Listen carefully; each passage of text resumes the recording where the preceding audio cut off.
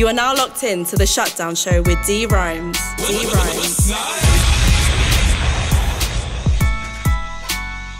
Yes, indeed, people. It's your boy from the borough, D-Rymez, and this is the Shutdown Show, doing it like this every single Friday, 7 to 10 p.m. And on my show today, we've got my guy, Larry, CEO and creator of everything, Larry, in the building. What are you saying, Cuzzy? Jeez, that has a nice ring to it. CEO. Yeah? CEO. CEO, creator, chief officer. Wait, C, chief executive officer. Is that what it is? Yeah, I like that. Yeah. I like that. Okay. What are you saying, Cuzzy? How you been? I've been alright, man. I've been good. It's a long time since I've been here, you know. It is a long time. It is a long time. you dipped off to Rinse FM. You know, Carl, this man, man like Larry dipped off to Rinse FM. But you know what? I'm very happy for you, Cuzzy. You know what? I Yeah. heard. I heard your um, your speech that you did like the other week, and a, a tear came down my cheek. I was like, no, "Thank you very much, man. yeah. I appreciate that." My guy. I- My guy. I appreciate. You know what? I appreciate the grind. Yeah. I've been seeing you doing your thing. Just tell the people right now, my lovely West Side is locked into the Shutdown Show.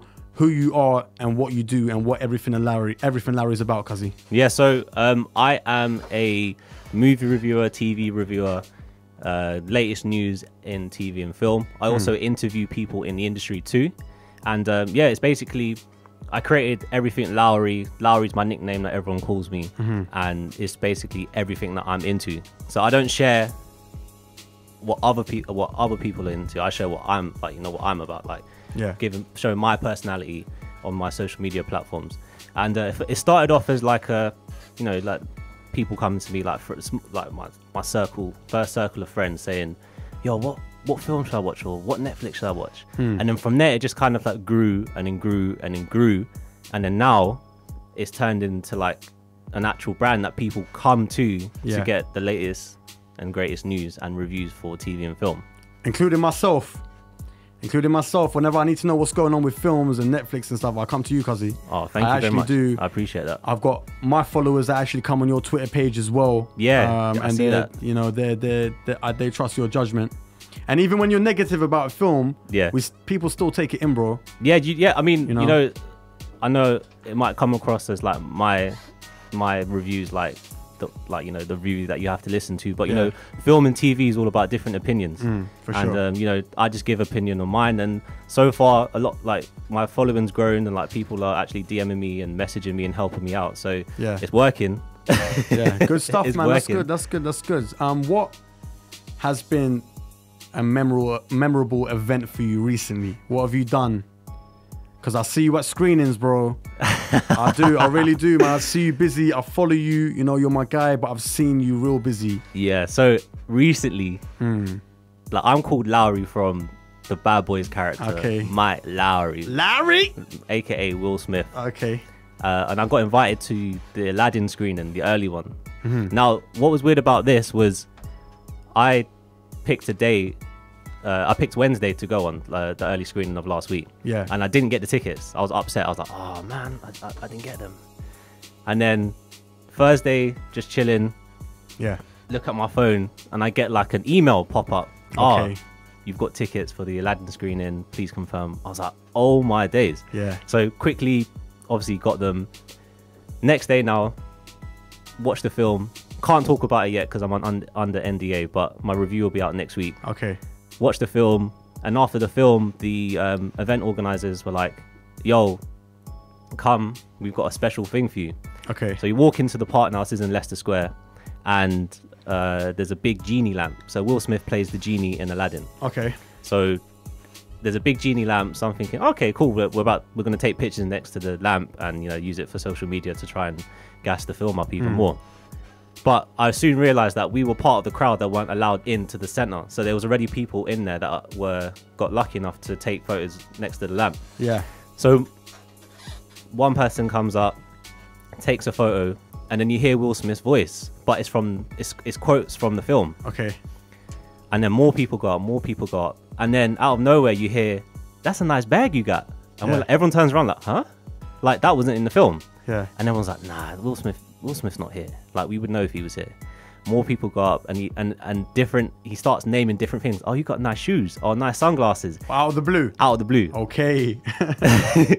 and then out of nowhere, Will Smith pops out. Madness. Like I'm standing like looking at Lowrey like in At front the of me. original Larry, Big Like, Larry. Yeah, it was. Cra- it was. It's, it's crazy. Like that's one of my idols, man. I've grown up Yeah. on him, and, and watching that. Sorry, watching the film, the, and then seeing him straight after the film.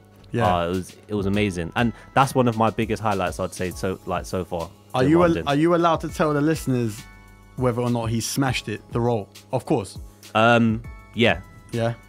That's what I'm gonna say. Yeah. Okay, so no He more. killed it. Okay, cool. cool. uh, know about them, uh, them, uh, them NDAs there. Yeah. Wicked. That's good, man. That's so you've seen. That's bro. That's a list.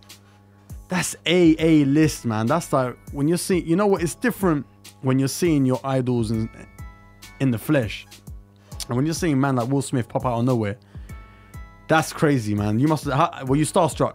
That's the first time that I've proper been like, whoa. Yeah, yeah, yeah, Like I couldn't stop smiling. yeah, I look. I, I look to my left. I look to my right, and I'm still smiling. yeah, yeah, yeah.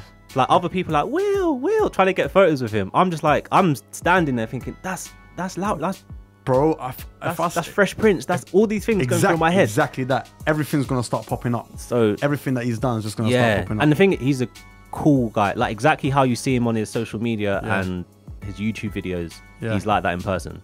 And Yeah. like he had like 50, like at least 10 phones. As soon as he came out, like 10 phones were right in the middle of his face. I, if that was me, I would have been like, move. Yeah, yeah, yeah. But he was like happy. He, he even took the phone off them to get a proper angle for the photos. you know what? Another person that um, another person that done that um, was when I met Anthony Joshua, very humble guy. Yeah. Done the exact same thing. Um, he came to where I was working previously, and um, took my phone, took a picture. You know what? Honestly, them them them celebrities and them you know them them public figures like that that do that, wicked. Mate, Yeah, I love that.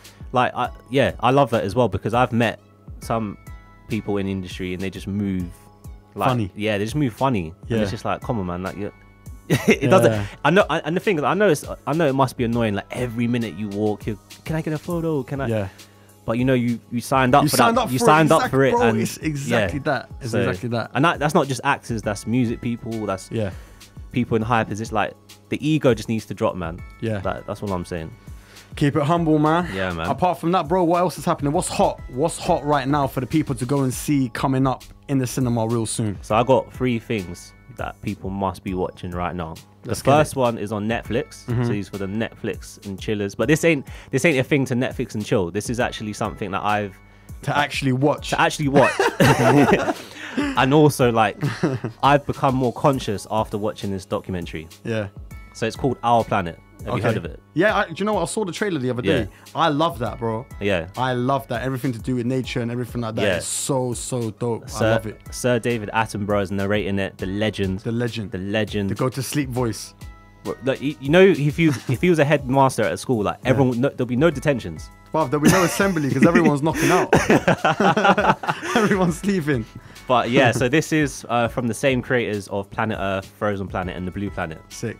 So that was on BBC. Those were like A star uh, TV programs, and it does show nature and, and stuff like that, like it has done on the previous BBC shows. Yeah. But what is different about this is showing what we're doing to the Earth as humans. Okay. Plastic waste, Yeah. uh, CO2 gases, and all of that stuff. Yeah. And it's basically narrating the damage that we've been doing, and if we don't soon, you know, change in the next 20 years, they're saying we could uh, like we could drastically change the earth for, for good like there's no turning back um, one of the key um, highlights that i picked up from the documentary was since the 1960s 70% of borneo has been deforested What's which that? is uh, borneo is uh, an island in indonesia Oh, okay. Oh, man. and 70% of that island It's gone. is gone deforested Wow. and that's gone to like you know building tables and chairs and, and other stuff for, for for building but it's crazy like they're, they're taking and they're not replenishing the the trees and So stuff how many how many years do you think that until,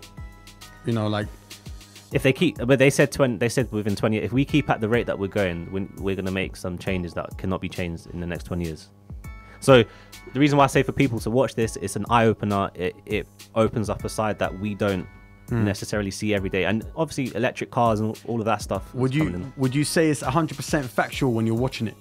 yeah Are you are you Yeah. are you believing it? Yeah. yeah i mean Okay, the series good. took four years to to make Wow, four years Yeah. to make. That's What- that's crazy. Yeah, one scene took 20 minutes to film, and the the guys have been they were waiting for three weeks just for that one scene.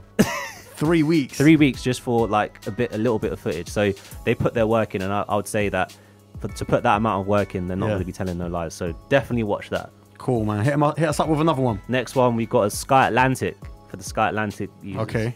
Uh, it's called Chernobyl. It's a five episode miniseries Yeah. depicting the events of the unfortunate Chernobyl disaster Okay. that happened in the 1960s and basically the events after um, them of trying to clean it up. Obviously, some conspiracy theories included in there. I'm not going to spoil it. Okay. But um, yeah, really good TV What, series. what's what's your Lowery rating on that? I'm giving it. I'm giving it a must watch. This is a Lowery choice must watch. Like definitely four out of five so far. Yeah. Okay. Dope. Man, get- Larry gave you guys a four out of five, Yeah. man. You gotta trust it. This guy is not lying. He's definitely one to watch the stuff and give you good advice. So that that's on Sky Atlantic, Yeah. and then the big boy that came out this week, Tell me. John Wick Three. Oh, buddy. So have you seen any of the John Wicks? Bro, have I seen any of the John Wicks? I love John Wick, bro. Number one, sick. Number two, left me on the craziest edge. I can't wait to watch number three. I'm done. That's the if whatever film's coming out right now, Yeah. that's what I want to go and see. 100. percent Yeah, bro. This. You know what's that ad lib on um, Russ's trap? Was that crud? That was all that was going through my head. Watching the whole film, that was all that was going through my head. Yeah. This is a film you have to take. You have to leave your brain at home Yeah. and you go and watch it just for the action. Bro, the action, man. And- Even the number two. and how many ways can he kill someone um, and how he gets out of a, an impossible situation. It's like a video game. Yeah, yeah, for sure. Uh, Halle Berry's in it. Laurence Fishburne returns as well. She's great. Halle Berry is. Yeah? She's mad. she's, she's Yeah. she does well in it, and uh, it basically follows the events of John Wick 2. yeah, yeah, yeah. So if whoever's seen it, uh, he does something in John Wick 2, which makes the whole organization that he's in go against him. So he's got a 14 million dollar bond on his head, head, sorry, Bro. and he's running away from everyone. I saw that in the cinema. Yeah. Crazy. Crazy. And I've seen it about three, four, maybe five times since. Sick. Can't This, wait to watch it. this is a four. This is a four out of five straight. yeah? yeah, You're not, you're not pushing it to a five. Nah, Okay, cool. but it's a four out of five. Cool. and you'll enjoy it. And Keanu Reeves is still Keanu Reeves. Oh man, he's just the guy. He's the guy in it. Oh my he's gosh. just the guy. Bro. Anything he does is Yeah. just wicked. Absolutely smashing it. I see. I see you on the social medias watching uh, Game of Thrones. Bro, everyone listening right now, I've joined your Game of Thrones cult. I should have done it ages ago, bro. I love it. I'm on season three, episode five. I know I'm I know I got Yeah. way so much more to watch, but I'm literally doing like five episodes a night, quickly trying to catch up, Yeah. bro. It is sick. I don't know. I'm, I I slapped myself on my knee for not watching it, man. Earlier, honestly, so sick, so sick. season eight just hasn't been it, bro. Really? Yeah, it hasn't. It's it's not hit the levels that they've hit before. I'm not gonna ruin anything for you, but Yeah. Yeah, I, the last episode on Monday, I was very disappointed. I kept seeing people saying it's trash. Yeah, I I, I thought that episode for Game of Thrones level was trash. It would like it's not trash, but Yeah. for their quality of at work, yeah, you're not you're not the um you're not the first one that actually said that episode wasn't all that. Honestly, a lot of people were not happy with that last episode it of Game wasn't. of Thrones. It wasn't good. It was, and obviously having Endgame like a couple weeks before, which absolutely killed it. Like we're thinking, all right, the torch has been passed from. I know you can't compare them, but Yeah, yeah. you know they're two of the biggest franchises that we've had in the last ten years. So Endgame killed it, Yeah. passed the torch to Game of Thrones. All they had to do was use Usain Bolt it to the end. That's all they had to do. Bro, Endgame was sick, Yeah, Endgame. man. Endgame was another level. and you know what? All you spoilers on Instagram need to be sentenced to life in prison. Because I did see a spoiler, you know. I was scrolling down World Star yeah, and I saw a comment and it was just it was just literally a spoiler, full stop. Ah. And I was like, no, man, no. I just honestly, man, I was so gutted. But if you ain't seen Endgame, people, please watch it. Would you say they have to watch Infinity? Infinity yeah, hundred percent. Ha- ha- have to watch Infinity War, and then go and watch Endgame. Yeah. yeah. Bro, you know what? It's been so good to see you doing your thing, man. Likewise I'm very, very you, man. proud of you. I'm very proud of you, bro. I see you everywhere. You're pushing. We've got about a couple minutes until we shut off. Yeah. Tell people where they can find you right now. Where's your social media, bro? So I've actually recently launched my website. Of so course. everything everything is just in one everything. everything is in one place. Yeah. Everythinglowery.com. Yeah. Lowry is spelled L O W E R Y. Mm-hmm. That has my Twitter on there, my Instagram. I've got a Facebook page. YouTube channel. Yeah. All of it's on that website. I always have the latest movie reviews on a weekly, daily basis. And uh, yeah, if anyone, any, if anyone's seen anything, hit me up. Yeah. Hit me up on the social media, man. I'm, I'm active. What about your Instagram and Twitter? Instagram is everything Lowery. Everything's everything Lowery. All one. The Twitter's got. Oh, the Twitter. Yeah, Ah, yeah. see yeah. how I know you better than you know yourself. Come the, on, twi- the Twitter handle is spelled L W R Y instead of Yeah. L O W E R because there wasn't enough characters in that. they, Twitter snakes me. but yeah, everything L W R Y. That's on Twitter. Instagram is L O W E R Y, and yeah, the website is L O W E R Y. So And what are you most? What is Larry looking out for this year mostly? What other film coming out next is something that you can't wait to watch? we got Lion King. Mm-hmm. I'm looking forward to Godzilla. Godzilla's coming out. Godzilla, yeah, Godzilla, the new one, the new one before he fights King Kong. wow. Yeah, it's gonna Dope, be crazy. dope, dope, crazy. Um, Lion King, I said that already. Yeah. Um, what's what else? Star Wars. I'm seeing how they're gonna because that's the last one in the whole trilogy of the, the new. whole thing. Yeah, This is the last Star Yeah. Wars. Wow. Okay, So, when's um, that coming out? that comes out in December. So I'm December. looking forward to because I didn't like the one before.